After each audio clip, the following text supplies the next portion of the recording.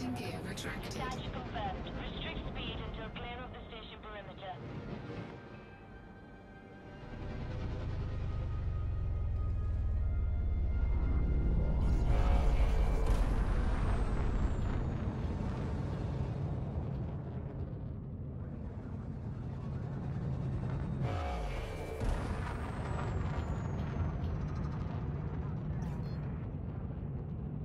Frameshift drive charging.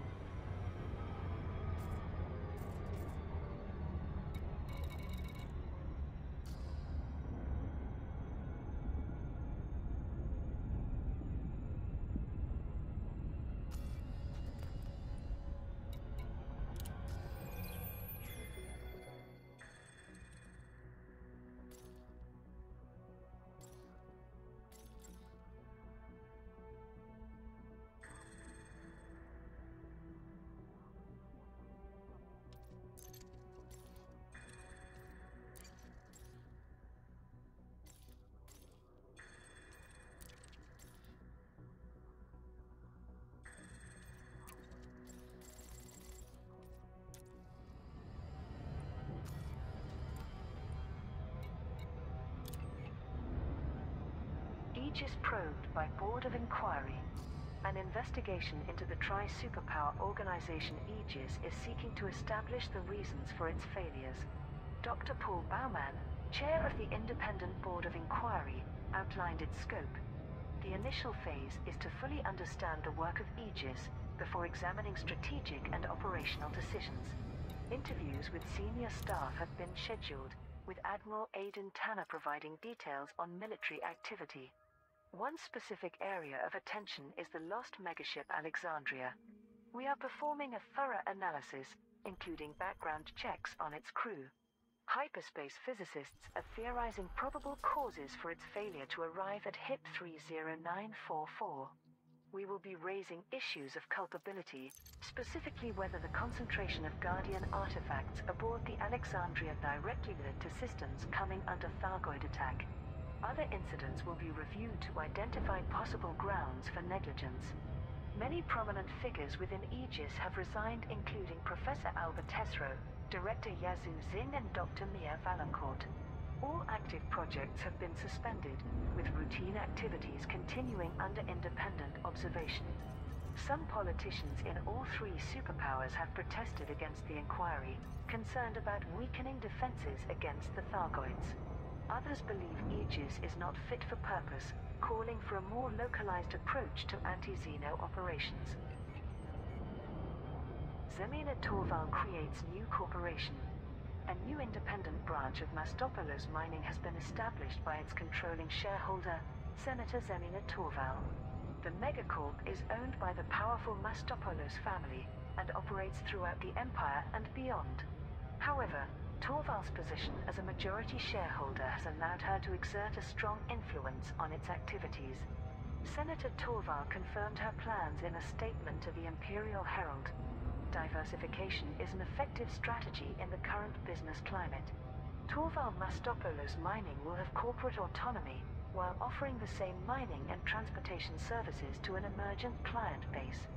Marlon Royce, business analyst for Vox Galactica, reported the persistent rumors of a rift between Zemina Torval and her cousin, CEO Gabriela Mastopoulos, may now be validated. Insiders report that after decades of working behind the scenes, Torval wishes to provide a more tangible legacy for her own children. Already she has set her sights on a permit-controlled system as the headquarters for this new company. As well as being renowned for her private wealth and corporate enterprises, Zemina Torval has been a prominent member of the Imperial Senate for decades. She has occasionally deputized as Chancellor and is known to be an outspoken champion of the Empire's traditions. Tensions inflamed in Marlinist colonies.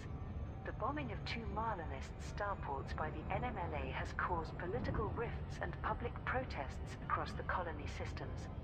Local newsfeed The Marlin Standard reported on current events. Our entire society is still reeling in shock after last week's attacks against Stillman Hub and Tillman Point stations. There has been mass panic in fear of further terrorist strikes, with unprecedented scenes of violence against known neo-Marlinist supporters. Without the respected leadership of First Minister Jenna Fairfax, angry exchanges and recriminations have divided the Marlinist Parliament. Minister Aaron White claimed that we invited this tragedy upon ourselves by not voting for a neo-Marlinist prime consul. In response, Minister Octavia Volkov called for White's arrest as an accessory to mass murder. Some community leaders expressed sorrow at a lost opportunity to establish a Marlinist presence in the Imperial Senate. This is certainly the view of acting First Minister Amrita Ross, who believes in rejoining the Empire. All of which has led to a baptism of fire for Prime Consul Coyote Tau, whose focus has been on arranging medical aid from the Alliance and Federation. It may be that the Marlinist consulate will soon be called upon to mediate between its own people. Thargoid cultists prepare for religious voyages. Three megaships are being populated by the Far God cult, part of their latest effort to recruit members and find their alien deity. The first vessel, the Testament, will serve as a missionary ship and journey throughout the core systems, attempting to convert new followers to the Thargoid worshipping sect. While the mystical cult is typically secretive in nature, Vox Galactica obtained a quote from a member named the Second Witness of the 70th chapter. The masses are deaf to the voice of the Far God. What you see as alien monsters, we view as messengers from a very real multi-dimensional being. The Testament will help us carry the word of its imminent arrival. Two other megaships have been outfitted for long-range journeys. The Petition and the Sacrosanct will carry many thousands of cultists on what they view as a pilgrimage to the Far God. Dr. Alfred Ulyanov, a leading exotheologian and expert on the religion, commented, This fringe creed, which has survived endless abuse and attacks, has now reached a surprising level of organization. Most of us associate the Thargoids with death and destruction, making it all the more remarkable that these people see only divinity. Aegis probed by Board of Inquiry. An investigation into the tri-superpower organization Aegis is seeking to establish the reasons for its failures. Dr. Paul Bauman, chair of the Independent Board of Inquiry, outlined its scope. The initial phase is to fully understand the work of Aegis before examining strategic and operational decisions. Interviews with senior staff have been scheduled, with Admiral Aden Tanner providing details on military activity. One specific area of attention is the lost megaship Alexandria. We are performing a thorough analysis, including background checks on its crew. Hyperspace physicists are theorizing probable causes for its failure to arrive at HIP 30944. We will be raising issues of culpability, specifically whether the concentration of Guardian artifacts aboard the Alexandria directly led to systems coming under Thargoid attack. Other incidents will be reviewed to identify possible grounds for negligence. Many prominent figures within Aegis have resigned, including Professor Albert Tesreau, Director Yazoo Zing, and Dr. Mia Valancourt. All active projects have been suspended, with routine activities continuing under independent observation. Some politicians in all three superpowers have protested against the inquiry, concerned about weakening defenses against the Thargoids. Others believe Aegis is not fit for purpose, calling for a more localized approach to anti-Xeno operations. Zemina Torval creates new corporation. A new independent branch of Mastopoulos Mining has been established by its controlling shareholder, Senator Zemina Torval. The megacorp is owned by the powerful Mastopoulos family and operates throughout the Empire and beyond. However, Torval's position as a majority shareholder has allowed her to exert a strong influence on its activities. Senator Torval confirmed her plans in a statement to the Imperial Herald. Diversification is an effective strategy in the current business climate. Torval Mastopoulos Mining will have corporate autonomy while offering the same mining and transportation services to an emergent client base. Marlon Royce, business analyst for Vox Galactica, reported the persistent rumors of a rift between Zemina Torval and her cousin, CEO Gabriela Mastopoulos, may now be validated. Insiders report that after decades of working behind the scenes, Torval wishes to provide a more tangible legacy for her own children. Already she has set her sights on a permit-controlled system as the headquarters for this new company. As well as being renowned for her private wealth and corporate enterprises, Zemina Torval has been a prominent member of the Imperial Senate for decades. She has occasionally deputized as Chancellor and is known to be an outspoken champion of the Empire's traditions. Incoming mission critical message. Tensions inflamed in Marlinist colonies. The bombing of two Marlinist starports by the NMLA has caused political rifts and public protests across the colony systems. Local newsfeed The Marlin Standard reported on current events. Our entire society is still reeling in shock after last week's attacks against Stillman Hub and Tillman Point stations. There has been mass panic in fear of further terrorist strikes, with unprecedented scenes of violence against known neo-Marlinist supporters. Without the respected leadership of First Minister Jenna Fairfax, angry exchanges and recriminations have divided the Marlinist Parliament. Minister Aaron White claimed that we invited this tragedy upon ourselves by not voting for a neo-Marlinist prime consul. In response, Minister Octavia Volkov called for White's arrest as an accessory to mass murder. Some community leaders expressed sorrow at a lost opportunity to establish a Marlinist presence in the Imperial Senate. This is certainly the view of acting First Minister Amrita Ross, who believes in rejoining the Empire all of which has led to a baptism of fire for Prime Consul Coyote Tau, whose focus has been on arranging medical aid from the Alliance and Federation. It may be that the Marlinist consulate will soon be called upon to mediate between its own people. Thargoid cultists prepare for religious voyages. Three megaships are being populated by the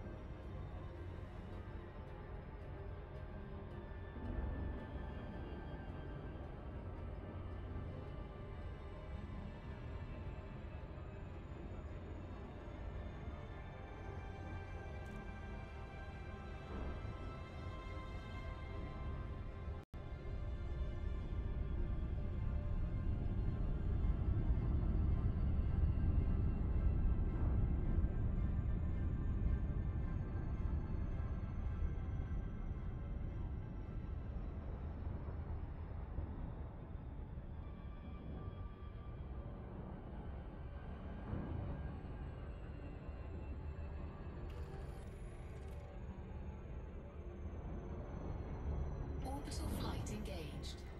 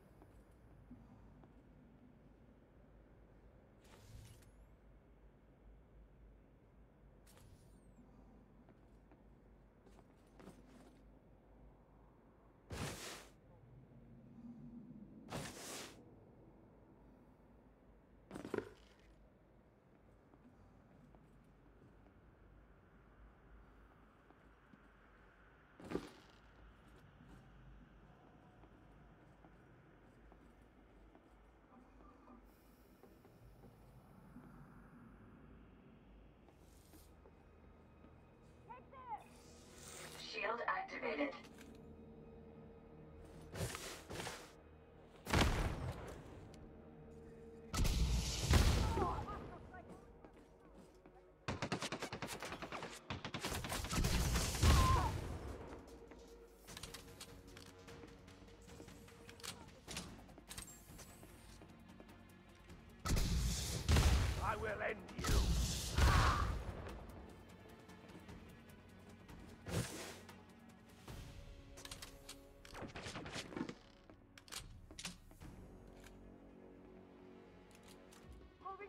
To flanking position.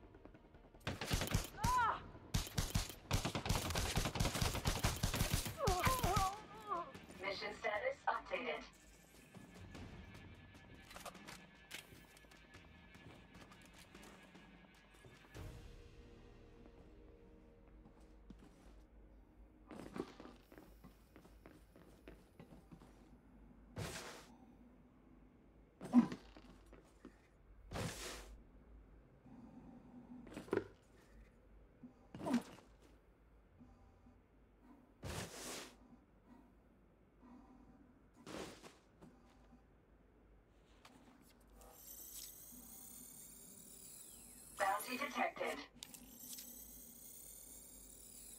No bounty detected.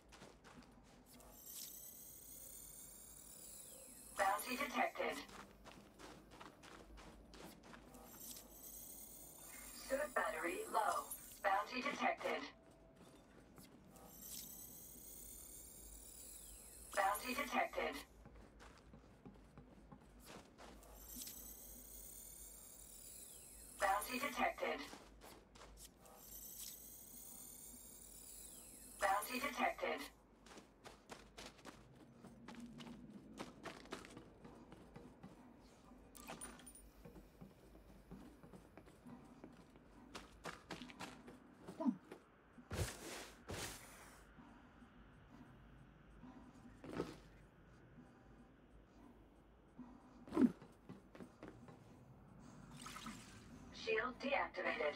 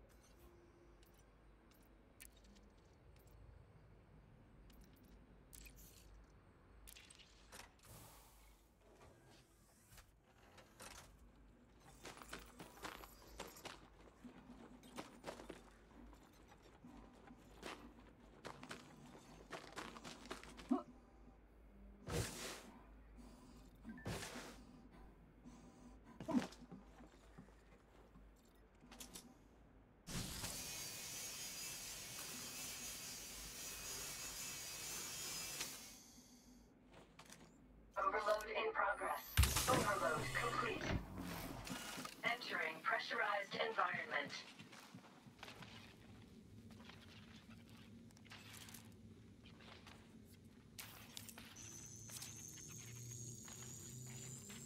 Security profile cloned.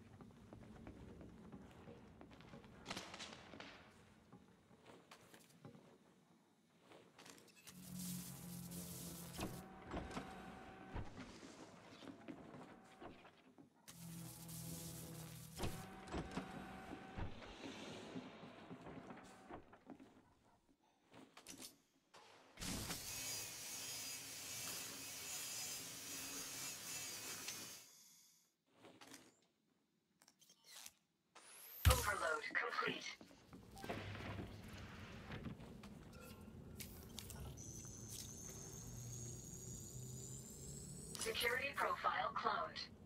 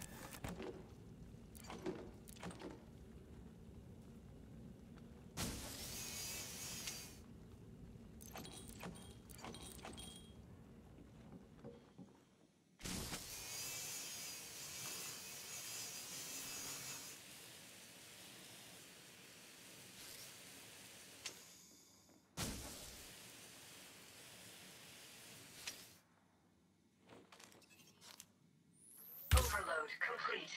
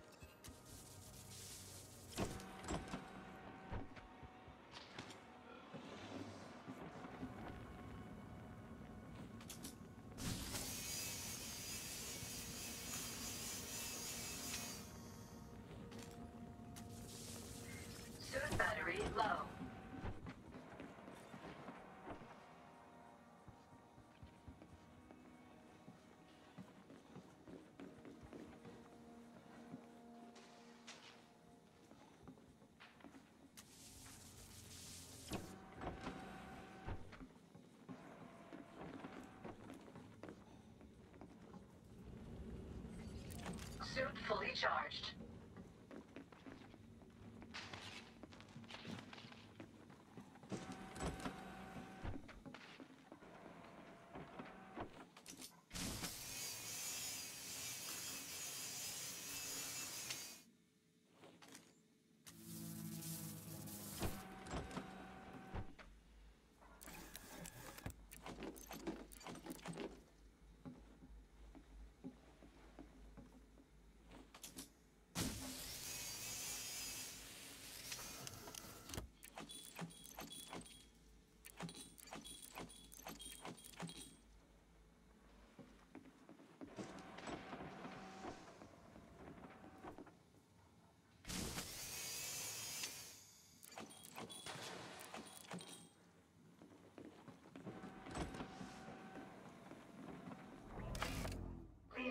Pressurized environment.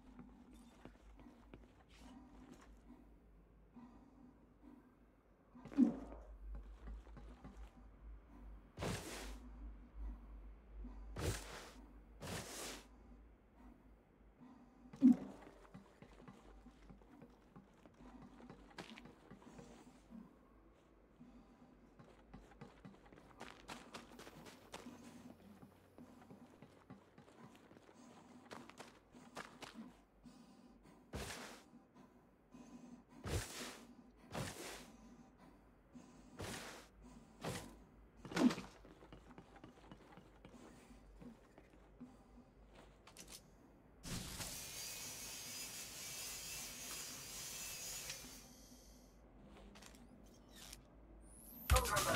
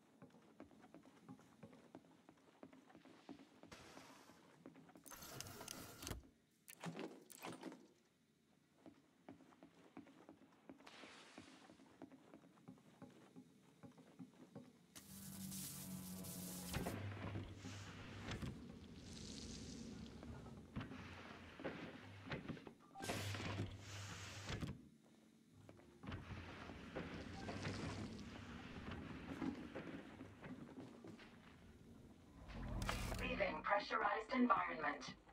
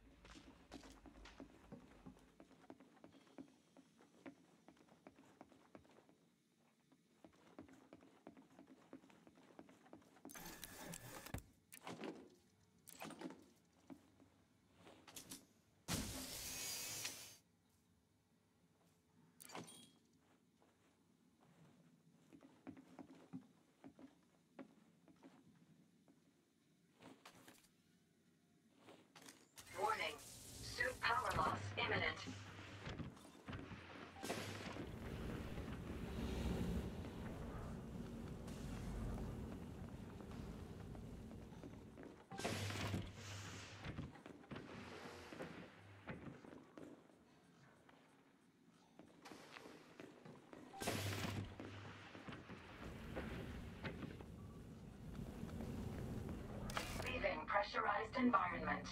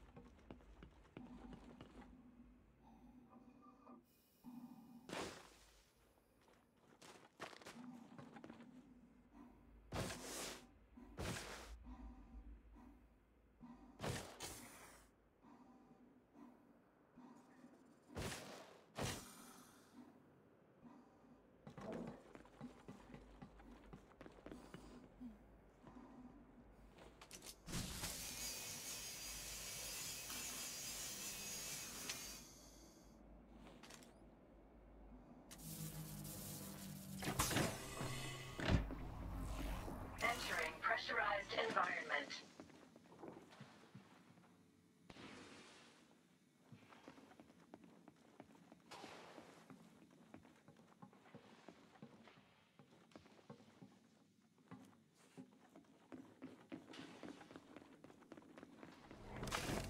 Leaving pressurized environment.